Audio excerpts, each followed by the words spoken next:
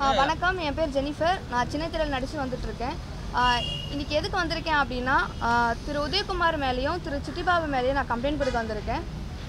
ரெண்டு நாள் முன்னாடி நியூஸ் பார்த்துருப்பீங்க. எனக்கும் துணை இயக்குனரோட ஒரு சின்ன பிரச்சனை. அது தொடர்பாக வந்து ஒரு அவதூறாக பேசியிருக்காங்க. அது முழுக்க முழுக்க போய் எனக்கு திருமணம் ஆகி இப்போ டிவோர்ஸ் கேஸ் நிலுவையில் இருக்குது போயிட்டுருக்கு. இது விஷயம் தெரிஞ்ச நவீன்குமார் வந்து என்கிட்ட அப்ரோச் பண்ணுறாரு நான் முதல்ல வேண்டான்னு ரெஃப்யூஸ் பண்ணுறேன் அதுக்கப்புறம் ஃபேமிலியோட அப்ரோச் பண்ணி ரெண்டு ஃபேமிலிக்கும் சமூகத்தோட நாங்கள் ரெண்டு பேர் லவ் பண்ணிகிட்டு இருந்தோம். அதையும் தாண்டி இவருக்கு வேலை போகுது. என்கிட்ட வந்து காசு கேட்டு மிரட்டினாரு. சரி ஹஸ்பண்டு தானே. சரி நாலு பேர் நம்ம பார்த்துக்கலாம் அப்படின்ட்டு என்னோட நகையெல்லாம் வச்சு அவருக்கு கிட்டத்தட்ட ஒரு ரெண்டு லட்சம் ரூபாய் நான் கொடுத்துருக்கேன்.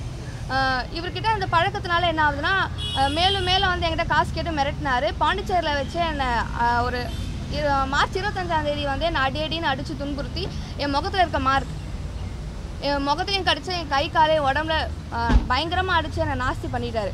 அவங்க அம்மா கிட்ட அவங்க அப்பாட்ட போய் கம்ப்ளைண்ட் பண்ணுறேன் நான் போலீஸ் கிட்ட போகல அப்போ. ஏன்னா அப்போ நான் ஒர்க் செய்கிற இடத்துல இது ப்ராப்ளமாக இருக்குது அப்படின்னா நாளைக்கு பின்ன எனக்கு பிரச்சனை ஆகிடும்ன்றதுனால நான் சொல்கிறேன் அவங்க அப்பா அம்மா வந்து அப்போ என்கிட்ட காம்ப்ரமைஸ் பண்ணுறாங்க சரி ஓகே நாங்கள் பார்த்துக்குறோம் நீங்கள் அந்த மனுச்சு ஏற்றுக்கோங்க அப்படின்றாங்க. நானே எங்கள் ஃபேமிலிகிட்ட கன்சல்ட் பண்ணி நாங்கள் அதுக்கப்புறம் ஏற்றுட்டு நான் நாலு பேர் நல்லா தான் போச்சு. கட கடந்த பதினாலாம் தேதி என்ன ஆகுதுன்னா என்கிட்ட வந்து அஞ்சு லட்சம் பணம் கேட்டு மிரட்டினார். நான் தர முடியாது அப்படின்னு. என் ட்ரெஸ்ஸை கிழிச்சு என்னை அர நிவாரணமாக என்னை வீடியோ எடுத்து இந்த இது நீ தரல அப்படின்னா நான் நீ பணம் தரல இந்த வீடியோ வந்து நான் இன்டர்நெட்லேயும் யூடியூப்லையும் போட்டு உன்னை நாஸ்தி பண்ணிவிடுவேன் சொல்லி என்னை மிரட்டினார். வேறு வழி இல்லாமல் என்னை உயிரை காப்பதுக்காக நைட்டு பன்னெண்டுலேருந்து காலை நாலரை மணி வரைக்கும் நான் அவர் கூட ட்ராவல் பண்ணுறேன் என்னோட காரில் அவங்க அம்மாவுக்கும் இந்த விஷயம் தெரியும் அவங்க அப்பாவுக்கும் தெரியும். அவங்க அப்பா இந்த ஆஃபீஸில் சூப்பர்டென்ட் போலீஸாக இருக்கார். அவர் பேர் உதயகுமார். அவரோட இன்ஃப்ளூயன்ஸால தான் இது எல்லாமே நடக்குது. அவங்க அம்மா பவானி உதயகுமார் என்னை வந்து கொலை மிரட்டல் கொடுத்தாங்க. நீ பணத்தை கொடுக்கனா நான் உன்னை வந்து ஆளை ஆளை வச்சு உன்னை மிரட்டுவேன். உங்கள் குடும்பத்தை நான் காலி பண்ணுவேன் சொல்லி என்னை மிரட்டிக்கிட்டே இருக்காங்க. ஒரு கட்டத்துக்கு மேலே அவங்க ஃபோனை வாங்கி நான் அந்த பையனை அவங்க அம்மாட்ட சொல்லி நான் இது பண்ணுறேன் அவங்க அம்மா இல்லை என் பையனுக்கு புது ஃபோன் வேணும். அஞ்சு லட்சம் பணம் கொடுக்கணும்னு சொல்லி மிரட்டுறாங்க. நான் கொடுக்கல. நாளை பின்ன என்ன ஆகுதுன்னா ஒரு ஒரு இடத்துல சமரசம் பேசுறதுக்காக போகிறோம் அந்த பையன் வந்துட்டு சொல்கிறான் நீங்கள் நீ பணம் தரலனா நான் இந்த வீடியோ விட்டுருவேன் அப்படின்றான் அவங்ககிட்ட நான் கெஞ்சினா கதறினா அவங்க எ- என் மேலே இறக்க கூட படலை. கடந்த ஞாயிற்றுக்கிழமை என்ன ஆகுதுன்னா அவங்க எங்கிட்ட சமரசம் பேசுகிறோம் அப்படின்ற மாதிரி சொன்னாங்க.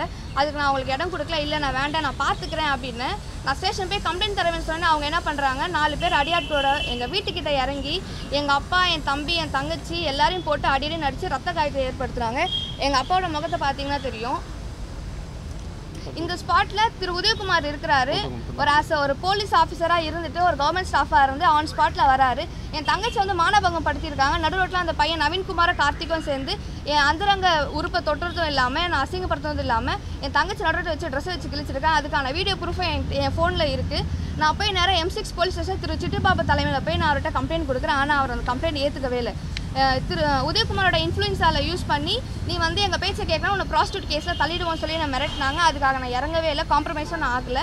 நான் வந்து சமரசம் பேசுறதால எனக்கு தேவை வந்து உமன் ஹராஸ்மெண்ட் பண்ணியிருக்கான். நீங்கள் கேஸ் எடுக்கணும் அப்படின்னு சொல்கிறேன் ஆனால் அவங்க வந்து கேட்கவே இல்லை. சிட்டிபாம் வந்து முழுக்க முழுக்க வந்து திரு உதயகுமாருக்கு அவருக்கு மட்டுமே தான் சப்போர்ட் பண்ணி பேசிட்டு இருக்காரு ஏன்னா அவங்க அம்மா மிரட்டுறாங்க. எங்கள் என் புருஷன் வந்து கமிஷன் ஆஃபீஸில் வேலை செய்கிறாரு நான் என்ன பண்ணுறேன்னு பாரு. உன்னை குடும்பத்தோட வெட்டிடுவேன் குத்திடுவேன். நீ இந்த ஏரியா விட்டு எப்படி போகிற பாரு அப்படின்னு சொல்லி மிரட்டல் கொடுத்துக்கிட்டே இருந்தாங்க. இருந்தாலும் நான் கேஸ் வாபஸ் வாங்கவே இல்லை. இது வந்து உதயகுமாரோட இன்ஃப்ளூயன்ஸால் மட்டுமே தான் இது ஃபுல்லாக நடந்திருக்கு. சிட்டி பாபா சார் என்ன சொல்கிறாருன்னா நீ ஏன் கண்ட்ரோலில் இருக்க? இது ஏன் டிவிஷனு என்ன பண்ணுறியோ பார்த்துக்கோ நீ இப்போ நீ கேஸ் வாபஸ் வாங்குறேன்னா நடக்கிறதே வேறேன்னு சொல்லி என்ன எனக்கு மிரட்டெல்லாம் கொடுத்துக்கிட்டே இருந்தாங்க. இருந்தாலும் நான் இது பண்ணவே இல்லை. அ- அது மீறியும் நான் கம்ப்ளைண்ட் காப்பியில் வந்து உதயகுமார் பேரை மென்ஷன் பண்ண என்னை சிட்டுபாப்பு சார் விடவே இல்லை. இந்த கம்ப்ளைண்ட் காப்பி பார்த்தீங்கன்னா இதை ஆட் பண்ணுறேன்னு சொன்னாங்க எஃப்ஐஆர் காப்பியில் ஆனால் ஸ்டில்லாம் அவங்க வந்து ஆக்ஷனும் எடுக்கல. எஃப்ஐஆர் காப்பியும் அவங்க இது பண்ணவே இல்லை. உதயகுமார் சார் பேர் போடுவேன்னு சொன்னாங்க. ஆனால் இன்னமும் போடலை. நவீன்குமார் பேரும் கூட அந்த ரெண்டு அக்யூஸ்ட் பேரும் மட்டுமே தான் போட்டு இப்போ உள்ளே தள்ளியிருக்காங்க. இப்போ எனக்கு என்னென்னா என் தங்கச்சி வந்து மானபங்கம் பண்ணியிருக்காங்க. என்னையும் வந்து அந்த பையன் டார்ச்சர் பண்ணியிருக்கான் அப்யூஸ் பண்ணியிருக்கான். மென்டலாகவும் என்னை வந்து ஃபிசிக்கலாகவும் ப்ரூட்டலி அவன் ரொம்ப ரொம்ப அப்யூஸ் பண்ணியிருக்கான். அதுக்கான ஆக்ஷன் எடுக்க சொல்லி தான் இங்கே நான் வந்திருக்கேன். இதில் நீங்கள் பார்த்தீங்கன்னா நீங்கள் பார்த்தீங்கன்னா இதில் இருக்க கண்டென்ட்டே வேறு. ஆனால் வந்து ரிப்போர்ட்டர்ஸ் என்ன சொல்கிறாங்கன்னா ரிப்போர்ட்டர்ஸ் என்ன நீங்கள் சொல்கிறீங்க அப்படின்னா டூ டேஸ் பிஃபோர் வந்து எனக்கும் அவருக்கும் அஃபேர் இருக்குது நான் வந்து முதல் திருமணத்தை மறைச்சிட்டேன் அப்படின்னு சொல்கிறீங்க திருமணமானது எல்லாருக்கும் தெரியும். ஃபர்ஸ்ட் திருமணமானது.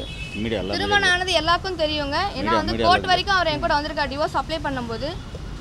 ஆனால் நீங்கள் ப்ரெஸ்ஸில் வந்துட்டு ப்ரெஸ்ஸில் வந்துட்டு ரிப்போர்ட்டா நீங்களும் சேர்ந்து வந்துட்டு என்கிட்ட எந்த. ரிப்போர்ட்டரும் இருங்க எந்த ரிப்போர்ட்டரும் வந்து எங்க விசாரிக்கிறாங்க ரெண்டு நாளா என்னை பத்தி அவதூறா தான் எல்லாரும் மீடியால போட்டிருக்கீங்க. என்கிட்ட எந்த ஒரு ரிப்போர்ட்டரும் எனக்கு ஃபோன் பண்ணி விசாரிக்கல. என்னாச்சு ஏதாச்சுன்ட்டு. முழுக்க முழுக்க நவீன்குமாருக்கும் திரு உதயகுமார் சிட்டி பாபா அவங்களுக்கு மட்டுமே தான் ஃபேவரா எல்லாரும் பேசியிருக்கீங்க. எனக்கு தேவை இப்ப நஷ்ட ஈடும். எனக்கு தேவை உமன் ஹராஸ்மெண்ட்டுக்கான ஆக்ஷன் எடுக்கணும். அதுக்காக மட்டுமே தான் இங்க நான் வந்திருக்கேன். சார் இப்போ நான் எதுக்கு இப்போ நான் வாய்ஸ் ரைஸ் பண்ணியிருக்கேன்னா நாளை பின்ன ஒரு சித்ராவா இந்த இடத்துல ஆயிடக்கூடாதுன்னு தான் சார் இப்போ நான் வந்து பேசிட்டு இருக்கேன். ஏன்னா அவங்கவுங்க பேசல இப்போ அவங்க இறந்து போயிருக்காங்க. இப்போ நான் அவங்க வந்து எனக்கு கொலை மெட்டல் கொடுத்து நான் இப்போ இப்போ எனக்கு என்ன மைண்ட் செட்னா இந்த டூ டேஸாக வந்து நீங்கள் ரிப்போர்ட்டர்ஸ் ஃபுல்லாக வந்து என்னை பற்றி அவதூறாக பேசியிருக்கீங்க. நான் உங்களை சொல்ல பொதுவாக போட்டவங்கள நான் சொல்கிறேன் எனக்கு சூசைட் ஆட்டம் வரைக்கும் நான் போயிட்டேன் சார். ஏன்னா இப்போ நாலு பின்ன போயிட்டா நாலு சித்ராவா என்ன நீங்கள் போர்ட்ரேட் பண்ணுற கூட சார். இப்போ நான் பேசியிருக்கேன். என்ன நடந்திருக்கு என்ன உண்மைன்றது இப்போ நான் சொல்லியிருக்கேன். இன்ஃப்ளூயன்ஸ் இருக்கிறதுனால அவங்க என்ன வேணா எந்த எக்ஸ்ட்ரீமானாலும் போயிருக்காங்க சார். ஒரு பொண்ணை ஒரு ப்ராஸ்டியூட் கேஸ் போடுவேன்னா என்ன அர்த்தம்னு எனக்கு புரியல சார் இங்கே.